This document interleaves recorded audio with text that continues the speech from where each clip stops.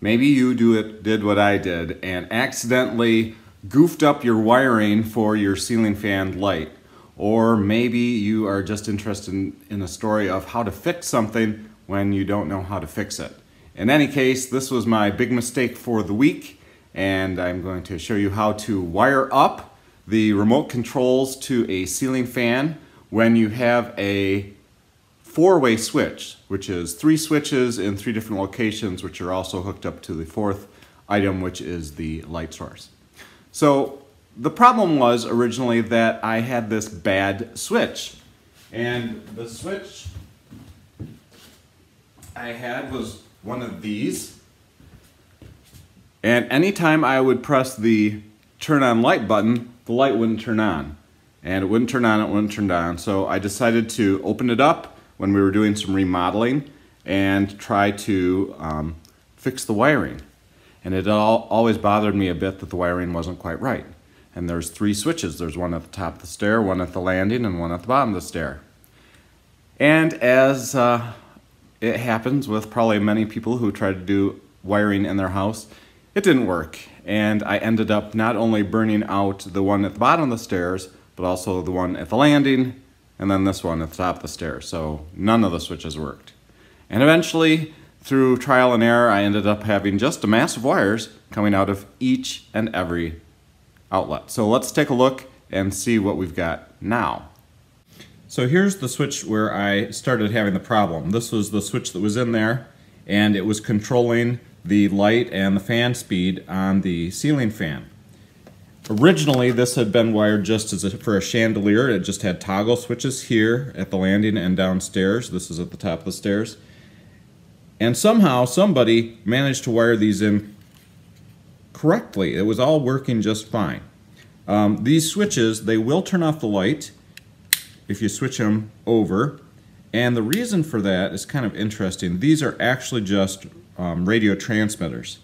And so power comes in through one of the leads and it comes out the other lead. I mean, it's alternating current, but you think of it that way. And so the black leads have the power running through them. Then there's a ground, and the ground goes up the copper. Well, this box was the most confusing one because it has so many wires. And if you look, there are, let's see, one, two, three blacks, three whites, and three coppers. There, there's a black, a white, and a copper going up, there's a black, white, copper going down, and then there's another black, white, copper going down on this side. So um, through uh, experimentation, I eventually figured out that one of these wires was the live wire. And it, when you are doing, um, trying to figure stuff out at home, I would suggest that you get some of this colored tape, and that way you can label stuff. And so I immediately labeled this as my red wire. And after some trial and error, um, remember none of these wires were attached to each other, I decided that, okay, um, if I attached this red wire, which was coming from the bottom, to this, red, this black wire that was going up, and then I attached a couple of the white wires, the same two white wires coming out of the same, then I could get the light to turn on. Well, that was good. But I still couldn't figure out how to um, get the other switches to work. I could wire one of these remotes in between the white and the black, um, actually not between the white and the black, but like taking off one of these and putting the the switch right on the line in between. And I'll grab one of these burnt out ones to kind of show you the idea. So you just kind of wire it in between here and it worked. But how to get the other two to work so um, I called an electrician. The electrician looked at it. He couldn't figure it out. Uh, my family members couldn't figure it out. I called a friend over. He couldn't figure it out. But what he did bring was a multimeter. And on the multimeter, he switched the multimeter to ohms. And then he um, proceeded to take a black and a white that were coming up in the same line twist them together, and then we tried to see um, by testing the two wires whether or not the ohm meter would move up or not. And the ohm meter did move up when we did the wires just right. But even when we kept working on that, we couldn't quite figure it out. Until this morning. And here's finally what I managed to do. You'll notice that I have a couple wires that have green on them. Well, I determined that these two wires go straight down to the bottom switch. And then in that switch, there's two more wires and they go up to the middle switch. And I labeled those with yellow. And then in the middle switch, there's two additional wires, one which is hot, and those aren't supposed to attach to anything. So that was confusing. And so here, here's how it's wired up. The power is coming up, you can imagine this is the hot line, the red line, then it goes up to the ceiling fan, it comes down this white line, it goes into the black uh, line that goes into the switch, it goes across the switch, or the remote control, and it comes to the green line, the green-black line. So let's go downstairs and see where it goes from there. So here we are downstairs. The green-black line is coming in, and then that's attached to one of the leads on the remote control. The power comes out, you could say. It's alternating current, so I don't know if you would actually say that.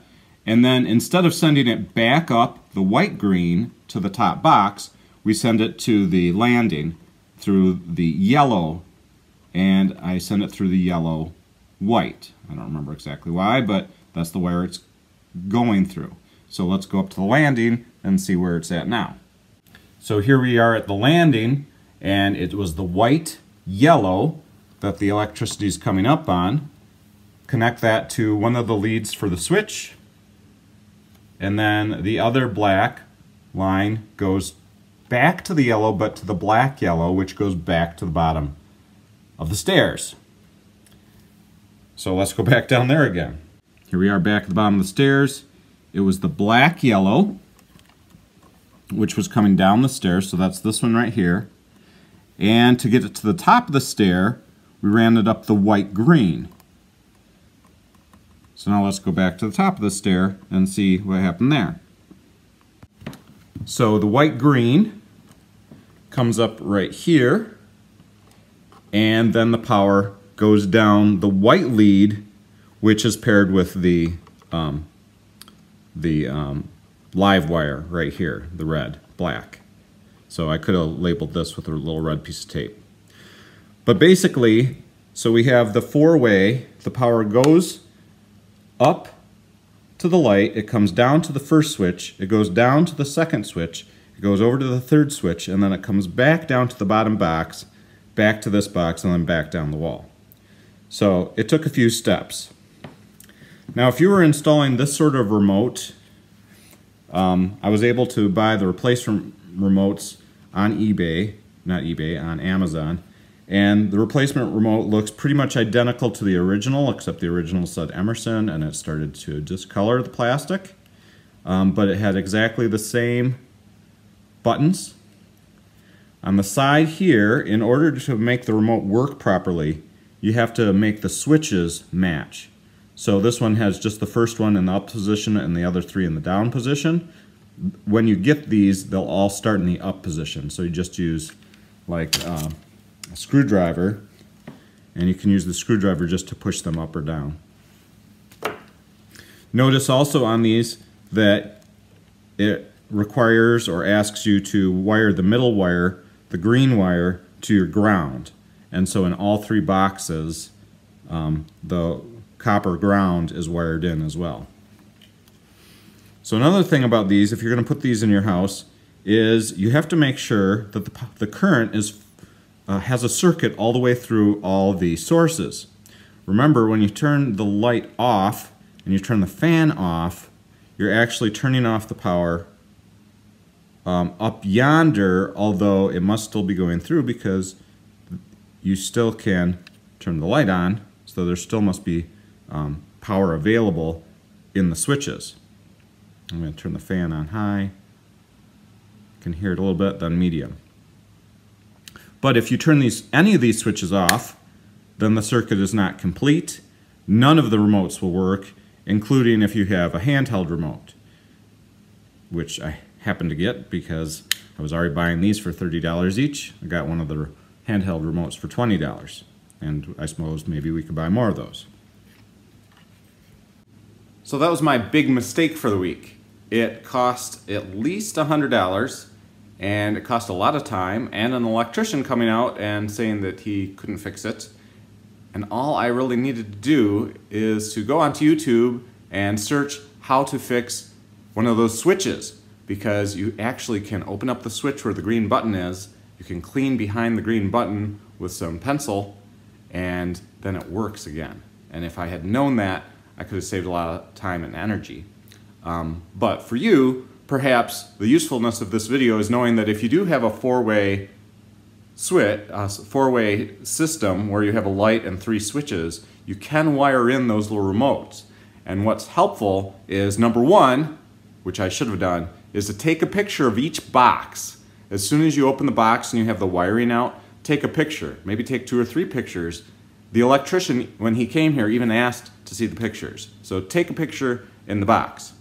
Um, number two, with those little remotes, don't try to complete the circuit through the remote without having something on the line like, like the light bulb to provide resistance because that's too much current and you'll burn out the remotes, which is what I ended up doing with three of them. Number two, find or get yourself a multimeter. I actually had one of these in uh, hidden away downstairs somewhere, but when my buddy brought his over, I was like, oh, that probably would have been really helpful. And the whole idea on these is when you set them to um, ohm, well, when you touch the two leads together, as long as the battery on the inside is working, it's going to go up a little bit. Okay? So as long as you make um, most of a loop, so if you connect the black and the white at the top, and then the black and the white are open on the bottom, you can touch the two wires to there and see that it completes a circuit. And so I was able to figure out that there's the one wire going up and down, and there's the other wire going this way from the landing to the downstairs.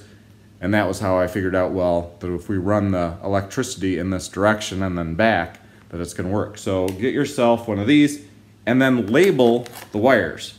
So I had this tape already, but I believe I got this also on the internet, Amazon or somewhere. And label the wires so that you know what's going where. Probably be, would be helpful to have a diagram. But number one, take pictures when you open boxes. Number two, get yourself a multimeter so you can make sure where the wires are going. And number three, get yourself some tape and hopefully the next big mistake you make won't be the next this big mistake that I made. Thanks for watching. Please subscribe, like, and comment below.